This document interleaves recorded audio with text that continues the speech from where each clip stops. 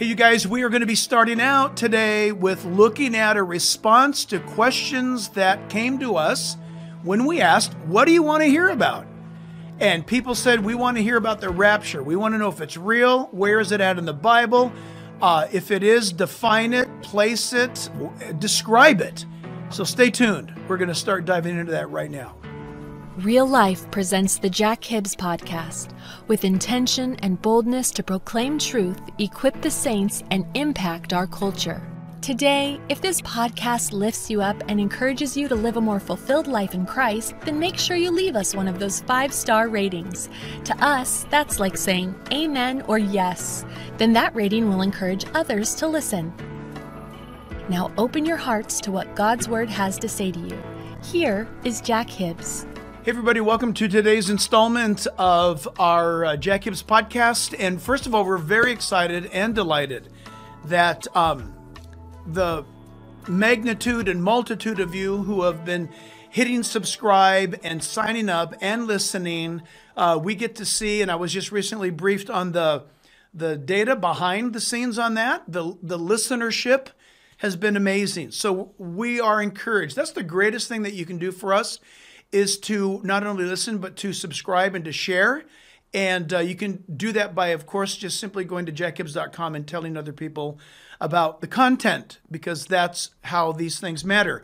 So we put out on Facebook, I think it was, the other day, we asked you to provide topics that you are concerned about or topics that most um, uh, have co- come up in your conversations or ones that you're concerned about. And so, overwhelmingly, justifiably so, have been the questions regarding last day's events. Questions from the millennium. We're going to talk about it. Great questions, by the way, about the millennium. Uh, qu- questions about the rapture. What is it? Uh, questions about who's the Antichrist. Questions about does the Bible really predict the future? Uh, what do I do if it does? Uh, the world around me, what's going on. So we're not going to cover it all, obviously, in one uh, session together right now. Which, by the way, for those of you who are viewing this, do you see this really awesome little sticker? It says "Real Life." I just thought, you know how the real professional guys that do podcasts have these really cool things, and it says like "Turning Point USA" or or something like that. So, um, so that's what we're doing right here. For those of you who are just what are listening right now, you have no idea what I'm talking about, but uh, this is real life. And so we're pretty excited about that. So here's the deal. Let's dive into this. Uh, let's let's take the next several podcasts. Let's let's do this. Let's start from uh, defining the rapture. We'll define the rapture, and then in our following podcast, we will walk through the biblical chronology of end time events. How about that? You see, why do it that way? Because if we define the rapture, it covers several views we'll look at, and it's appropriate that when we lay down that foundation of biblical definition to the rapture, then we're going to be able to uh, place it in the right place or or argue uh, why it's in this particular place. You're going to disagree. Some of you are going to disagree. That's totally cool, but know why we disagree. Uh, we're going to have some fun, though, together, because I got to tell you the reason why. I was saved at Calvary Chapel, Costa Mesa under Chuck Smith, and he taught pre tribulation rapture. I believed it as a new believer because he believed it and he taught it. And then I started studying other things and I drifted away from a pre tribulation rapture view and I stopped being a pre tribulational uh, rapture person uh, and I was I held that position for probably three to five years, I would think, and um, yet uh, studying it, studying it, studying it more and more and more. I not only came back to a pre-tribulation rapture view, but I came back to a pre-tribulation rapture view with somewhat of a with, with some way of a sanctified vengeance uh, or passion, I should say, because um, I understand both sides. I get both sides. And uh, one is, I have to tell you, one takes a lot of faith, and one takes a lot of discipline, and one takes um, a big burden off your shoulders, and one really sets a fire under you to be ready every day and to be obedient every day. The other one causes you to be waiting for other things to happen, waiting for, looking for other things to take place. And it's quite interesting to realize that uh, if there is a concept or a construct regarding the Lord's rapture, um, it matters how and what you believe about it uh, because it's translated in what you get involved in regarding your day to day life. So we're going to iron all this stuff out and um, we'll have some fun. So the first thing I want you to do, if you're taking notes and all, and forgive me, you you know I don't usually have my computer here, but I want to make sure that uh, I step through some verses and some arguments that are going to be uh, quite fun. So number one, write this down, please. One of the great questions that was asked was how can you believe in the rapture when the word rapture is not even in the Bible? And I understand the question, but for those of you who speak Latin or read Latin, my grandson's learning Latin right now. So he knows he knows the meaning of this word. In the Latin Bible, the word rapture appears. Uh, rapturo or, or raptus or what what we would just simply say rapture. That's the conversation that we use in, in our English. Um, in the Latin Bible, it is the word rapture. Okay, so if you have a Latin Bible, it's there. And so the question comes from our Western American uh, English uh, position. I don't see the word rapture in the Bible, so I can't believe in it. Well, the word Bible is not in the Bible but you believe in the Bible, right? I mean, there's a lot of things like that. So if you have a Latin Bible, the word rapture is there. If you have a Greek Bible, uh, the word harpazo is there for rapture. Okay? If you have an English, it may not, uh, uh, or most often says caught up, two words. Two English words to describe one word rapture, caught up. The word rapture means to actually be uh, quite suddenly and violently removed. It means to be taken out of or taken away from. Imagine this in your mind being grabbed and like pulled off the train tracks. Because maybe you're walking down the train tracks and you're and you're deaf. You can't hear that the train's coming and it's coming from behind you. To get raptured off the tracks is to be violently grabbed and taken away before the train destroys you. Okay, so um, let's look at this. Let's look at what um, how is the rapture defined in Scripture. And so we know number one that it is a a what we're not talking about when it is. Let's just lay the foundation that it is. It is an event in Scripture. So what is it? So let's define what it is and um, I want to give you some scripture. So I hope that you guys can either write these down or uh, if you're driving or flying or whatever you're doing, you can look at it later. But um, the rapture is specifically mentioned in scripture, and context is everything, that it's specifically mentioned in scripture regarding the church in our New Testament setting. See, why do you put it that way? Because there's been individual raptures that have happened. Uh, Elijah was taken up into heaven. That's a that's a description of a rapture. Uh, Enoch is a great picture of God translating Enoch from earth um, right up into heaven. That's a type of rapture. Um, listen, the Bible tells us that Philip in a in a limited fashion. Remember Philip in the book of Acts? He was preaching and people were accepting the Lord and he was preaching to to the Ethiopian eunuch and God's using Philip. Uh, and then he is lifted and taken by the Holy Spirit and he finds himself suddenly in a different place in the book of Acts. I mean, that's crazy amazing, right? So do keep that in mind that um, the rapture is not an odd thing. There are hints of it throughout Scripture. Uh, Isaiah 26, verses 19 to 21, is a pretty cool thing to look at in the Old Testament. But the rapture is the removal of the church. That's its function. Okay, we'll talk more about that later. We may not get to it all in today's podcast, but We'll get to it. But I'm going to ask you to write these uh, verses down. The, the number one overwhelming rapture verse in the scriptures regarding you and I. Are you ready? It comes from Jesus himself. Jesus is the first one to tell us about the rapture. I'm going to ask you to put these puzzle pieces together. Number one, Jesus in John 14, verse 1. Jesus said to his disciples just before he returned in the great ascension of Christ back to heaven, he said, Let not your heart be troubled. You believe in God, believe also in me. In my Father's house are many mansions, and if it were not so, I, I would tell you, I would have told you. I go to prepare a place for you. That where I am, oh, and if I go to prepare a place for you, I will come again and receive you to myself, that where I am, there you may be also. So let's march through this for a second.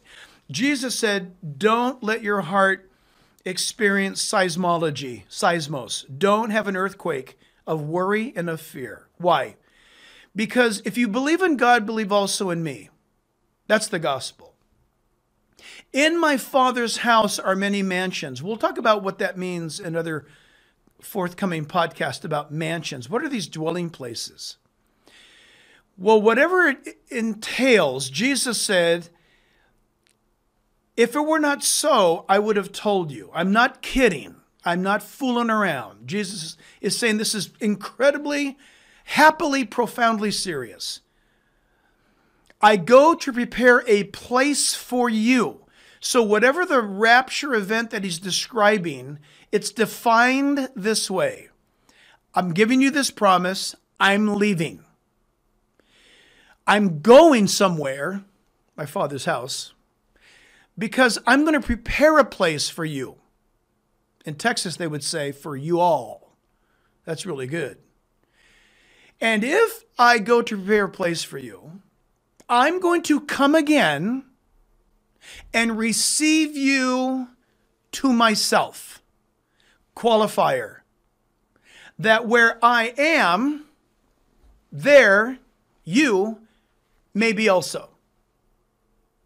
Get that right now. Everybody, take a deep breath and take it in. Jesus says, I'm going. Where are you going, Jesus? To my Father's house. I'm going to go prepare a place for you. There's awesome dwelling places there for you. I'm going to go prepare it. What does that mean? We have no idea, except that he's a contractor. Jesus was a contractor when he was living under Joseph's roof uh, in Nazareth. That's pretty cool. What is this contractor building? We don't have a clue but it's going to be amazing. But when he's done, and when his father says to him, Go, he's going to come and he's going to get you and I, or whoever, and he's going to take us to where he's been working. He's going to take us to where he's been preparing. You get it? He's going to take us to where he's been building mansions. Again, I'm not going to get into what mansions mean right now. Is it an actual dwelling? Is it an apartment? Is it your body? Is it is it a is it a city? Is it? A, we'll talk about that later. But the awesome thing is is that Jesus makes it very clear. I got to go to go prepare. I'm going to come back, grab you, and take you to where I have been preparing. So, friends, listen. If you believe uh, in a post-tribulation rapture view, as I used to, that makes it really tough. Because in a post-rapture view, uh, at the end of the tribulation period, you've got the church going up into the atmosphere, meeting Jesus, and coming back down to establish the kingdom. How in the world do you ever get John 14 fulfilled if that's the if that's the truth? It doesn't work. I, I look. I already did all the gymnastics on this, and you just tie yourself in a knot, among many other problems. But listen, I love you anyway. So I'm, I'm a pre-tribber radic, radically so. You'll you'll see this, but um, Here's one of the reasons why. Remember, we're defining what is the rapture. So forget about the placement. If you're pre, pre wrath, mid trib, post trib, doesn't matter. This is what it is.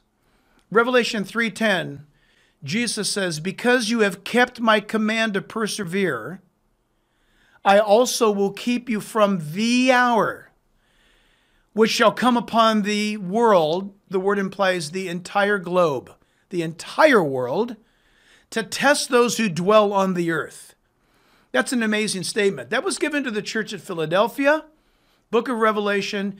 Jesus says, I'm going to keep you from an hour that is going to come upon the earth that will test all those who are earth dwellers. That's a cool thing because we're not earth dwellers. You and I, we have our citizenship in heaven, says the Bible. We're only here working right now for Jesus. We're working for company God to spread the gospel, to tell as many women, boys, men, boys and girls the gospel, and then we plan on getting out of here. So that's that's wonderful. Again, we're talking about defining it. Okay, we're not talking about the placement. We're not even talking about yet the why of it. So, Revelation 4, beginning at verse 1, this is very fun. So, when you look at the book of Revelation, which is key, the book of Revelation gives you a perfect breakdown of the book when John is told, John, write this down. Write down the things that were, the things that are, and the things that are about to come. So the book of Revelation, chapter 1, gives an announcement that it's broken up into three chronological, we'll just call it dispensations. I know the word dispensation drives people crazy, but just calm down for a moment. Don't worry about it. Dispensations are three let's uh, three epics or th- how about this? If we go to LA and we go to a play or we go to a musical uh, and we're watching Les Miserables, they may have uh, three different breaks uh, for the entire three hour presentation of that musical. Are you with me? Think of it that way. There are three breaks that which was, John, uh, the, the messenger says, John, write, write, write that down. And so what was, was the revelation of Jesus Christ. Write down the things that are, the letters to the seven churches. He writes those down. And the things that shall be. And that starts in chapter 4, verse 1. Are you ready? Here it goes. Revelation 4 1. After these things, the word in Greek is meta tauta. Meta tauta is the word meta tauta, these things. After these things of the first compartment, the revelation of Jesus Christ, this is who he is. And by the way, go ahead and read it. It's awesome. It's the book of Revelation is all about Jesus Christ. It's not about the church. It's not about the Jews. It's not about the Antichrist. It's all about Jesus Christ. It is the revelation of Jesus Christ. Okay, so it's so amazing because it tells you there in chapter one that he is the one who lived, he came, lived, died, and lives again. Revelation chapter 1, verses 17 and 18. Uh, Revelation chapter 2, somewhere around verses 4 through 8, it tells you that it's he who was dead, and behold, he's alive forevermore. Isn't that awesome? It's about him. And Revelation chapter 1, 2, and 3 um, also carry with it the descriptions and attributes of the Lord in the Old Testament.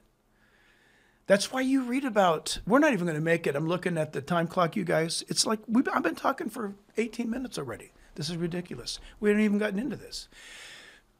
Remember when Jesus says in Revelation, I walk through the midst of the seven lampstands? Not eight, not nine, seven, not six, seven. And the seven lampstands are the seven churches? Those were seven churches in Asia Minor, which is Turkey today. You can go right now, by the way, you can fly there and, t- and go visit those archaeological sites. They're there for real, they're not made up. When Jesus says, I walk through the midst of the seven lampstands, it tells you in the Bible that the lampstands are the churches and that Jesus walks through the midst of them. What's amazing about that is that the seven lampstands in the book of Revelation is the seven lampstands that's given to Moses in the book of Exodus and Leviticus regarding the lamps, the menorah. And you don't hear anything about it until you have Genesis, well, you have Exodus and Leviticus. Genesis, of course, the first five books, the Pentateuch, given, given to Moses by God, mentioning the menorah that was in the wilderness and the menorah that was in the temple later on with the kings, with David and all. And then you don't hear about it until book of Revelation. If you read Genesis to Malachi, because you're Jewish, skip the entire New Testament and read the book of Revelation, you'll be shocked as a Jew to see how well you understand the book of Revelation. No one's going to understand the book of Revelation without reading the Old Testament. It's almost like a test. The book of Revelation, book of Revelation judges you and I. It basically says this. Hello, hi, excuse me. Have you read your Old Testament? Because don't even start reading here until you go and read the Old Testament because you're not going to get it. The dragon, the kingdom, all the stuff that's the, the, the descriptions of the heavenly and demonic entities. You got to go to the book of uh, the Old Testament to understand all that. So when it says, after these things I looked, John says, and behold, a door standing open in heaven. Notice, a door is open in heaven. John is the last apostle to have lived. John. He's the author of the book of Revelation. He's the pen, I should say. He's the quill. He's the pen. The first voice which I heard was like a trumpet, like a trumpet. It means it wasn't a trumpet, it was like a trumpet, speaking to me, saying, Come up here, and I will show you things which must take place after this. After what? After you're up here. Isn't that great? Think of this. What, just listen how this goes out. Immediately, John says, I was in the Spirit, and behold, a throne set in heaven, and one sat on the throne, and he who sat there was like a jasper and a sardis stone in appearance. And there was a rainbow around the throne in the appearance like an emerald. I have no idea what that means. When I think of rainbows, I think of the rainbows that you see uh, in, on a rainy day.